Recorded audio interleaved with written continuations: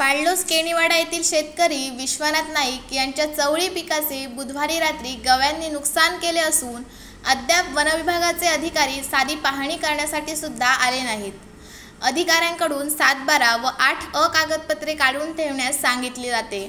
परंतु जर नुकसानग्रस्त भागाची पाहणी करण्यासाठी अधिकाऱ्यांना तीन दिवस लागत असतील तर भरपाई मिळण्यास किती दिवस लागतील याची काही शाश्वती नसल्याचे शेतकरी विश्वनाथ नाईक यांनी सांगितले.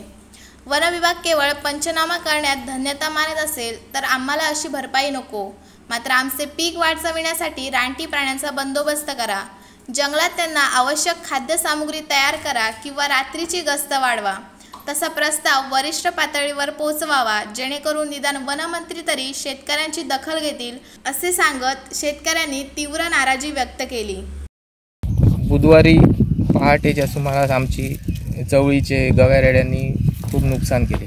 उत्पन्न देण्यायोग्य झालेली चवळी गव्यांनी नुकसान केल्यामुळे आमचं आर्थिक गणितच बिघडलेलं आहे. दिवस झाले तरी अद्याप काही कोणताच अधिकारी इथे पोचला नाही.